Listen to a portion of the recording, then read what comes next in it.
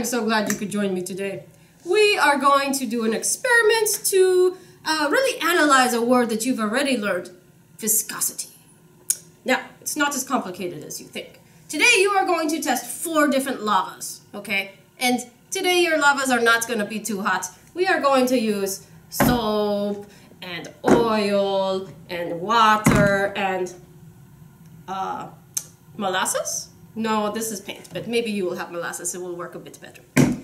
All right, you are going to create a slope. And uh, we are going to use a tray for a slope today. And I'm just going to place it on a few stacks of books just so I have something for the lava to travel down. All right? When lava comes out of a volcano or a fissure volcano, it is going to flow. And it depends on what type of lava it is. This is lava number one. I'm going to pour it down on one side and see how quickly it flows. Do that now. Push pause. Okay. Now that you've done lava number one, you're going to do lava number two. You're going to do the oil. You're going to do the soap. You're going to do the molasses. And then you are going to think and imagine that those really are lavas. And once they cool, what kind of mountains are they forming?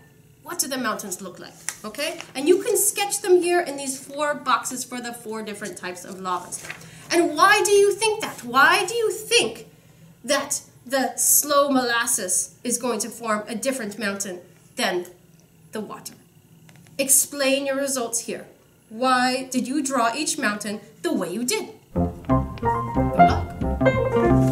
Magma is pushing through the earth! Oh!